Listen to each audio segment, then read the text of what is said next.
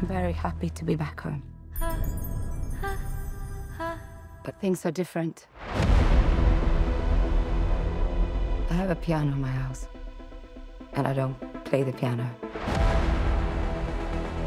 Do you have hallucinations? Yeah. Astronauts go through things they don't understand. That's when people come unstuck. When I was up there, the only thing I could focus on was getting back to my daughter. I miss you, Mummy. Will you be careful up there? Mummy, who was that? That was you and me right before the accident. That was not me.